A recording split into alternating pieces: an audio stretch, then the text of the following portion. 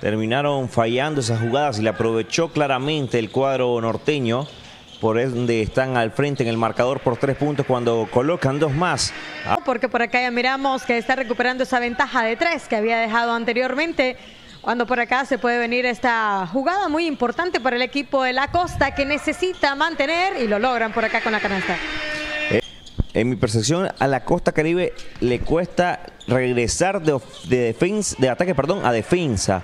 Porque 7-8 canastas que vinieron cuando se viene a la Costa Caribe con Jorge González culminando para retroceder, para defender, les están ganando el partido a la Bruma de Ginotega. Y en esta jugada anterior fue un ejemplo claro de lo que estás mencionando porque fue de tiros libres. A cobrar Owens Pires.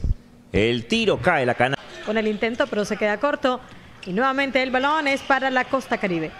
Atacando el cuadro de la costa, asistiendo Owens Pérez para que culmine hasta el momento en el desafío, cuando restan dos y medio para que culmine la primera mitad de este encuentro. Recupera la costa, con el tiro, otra oportunidad para Owens Pérez. Ahora sí la canasta ingresa a favor del Boricua.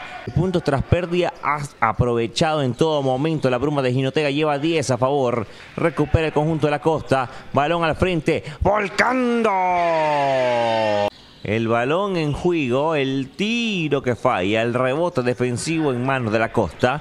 Luis López es el que traslada manejando los hilos del partido, asistiendo a sus compañeros y culmina con otro. Se viene esta posesión para el equipo caribeño, ya la ha puesto en juego. Era Andy Hodgson quien buscaba el acompañamiento y logran los puntos de esta manera. ¿Qué tanto logran remontar en este marcador adverso que tienen hasta el momento cuando lo intentaban a distancia y lo han fallado?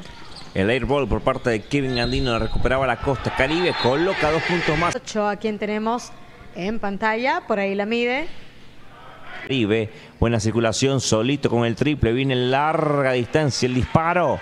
Termina también errando el conjunto de la Brumas. Bonita jugada, bailando la costa.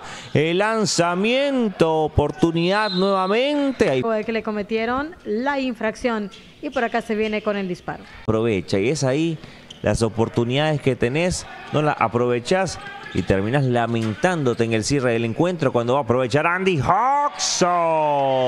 Golpeando anímicamente al equipo de las Brumas y no ha logrado realizar los ajustes necesarios para lograr remontar esta adversidad. Ahí intentaba el tiro